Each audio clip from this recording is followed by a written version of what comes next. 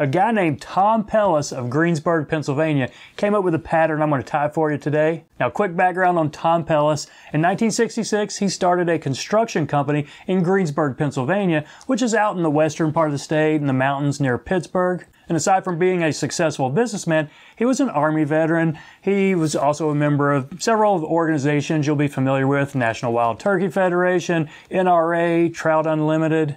And one of the more interesting facts is he was a waterfowl decoy carver of some renown. And according to his obituary, he passed away in 2006, but he won a world title with the International Wildfowl Decoy Carvers Association. And that's an association that I didn't even know existed until doing this research today. Now that's all interesting stuff, but why I'm talking about him today is because he came up with a pretty cool pattern. And I first saw it in Eric Leiser's Book of Fly Patterns.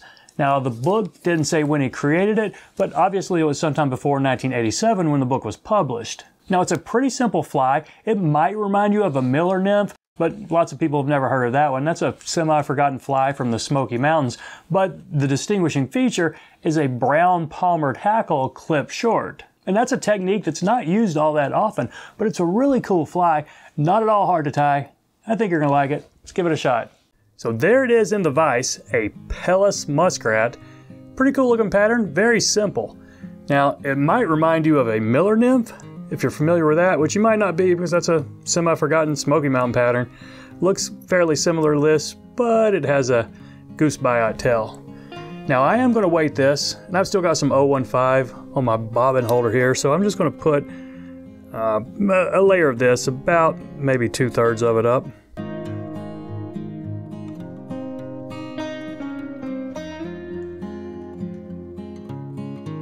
And that was a lead-free wrap, which if you've used that before, you'll know it's not as easy to break or helicopter off as regular lead. Now put some black thread down. Mine's already splitting up on me, but that's fine. We'll be we'll be okay. Put a little dam behind it, then a dam up in front of it, and then we'll bring it back down to the bend of the hook.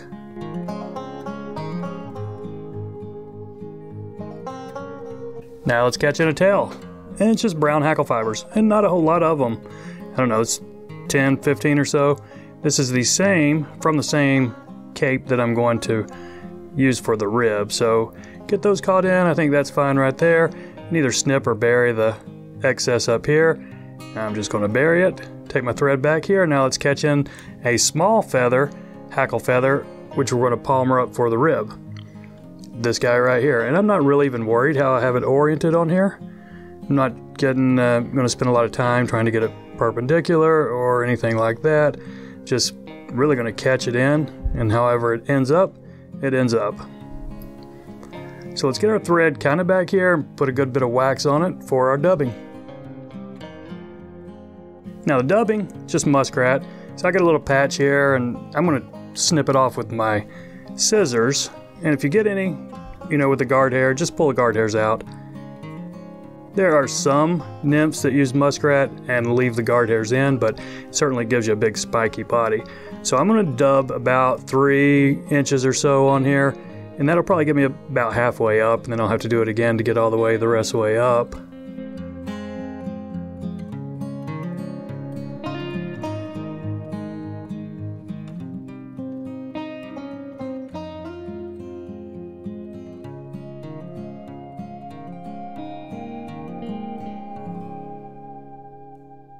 And you can see I let that get a little bit fuzzy on me there in the middle.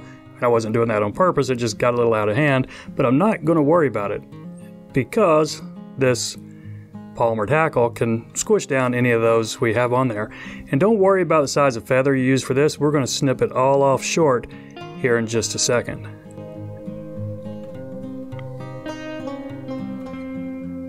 Now, what I do right here, I just put a half hitch because I've learned from experience that, you know, sometimes I will accidentally snip my my thread right there when I'm cutting this and you just make a big mess of it.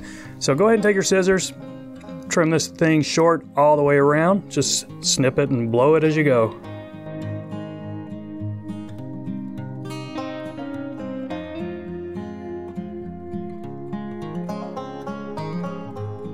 Okay, I think we're fine right there. You see I got that snip pretty short. I got a couple of fibers going forward right there, but we'll be able to take care of that when we're doing our head.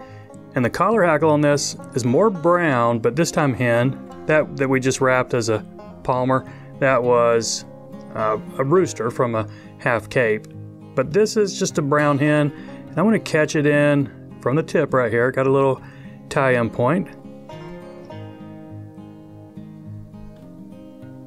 Let's do, I don't know, three or four good wraps right here. I'm going to fold this back over on itself just to make sure I really get it locked in right here. Now you will have that little nub right there to snip off, or you could probably just leave it. It's not going to be that noticeable, but we'll go ahead and snip it off.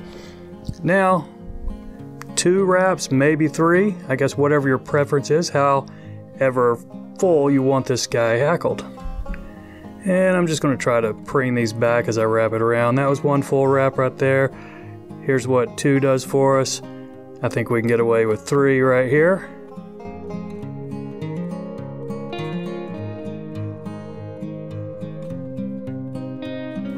Now just clean this up like you would any soft hackle wet fly head. Pull everything back, take your thread right back behind the eye, and then ramp it back up. I've got one fiber right there that doesn't want to stay back, but I'll get it. And don't be afraid to put a good sized head on this. It is a nymph. You don't need a tiny head.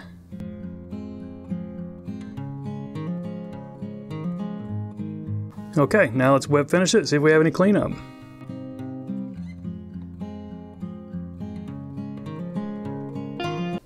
Okay, it is fuzzy, but I kind of like that.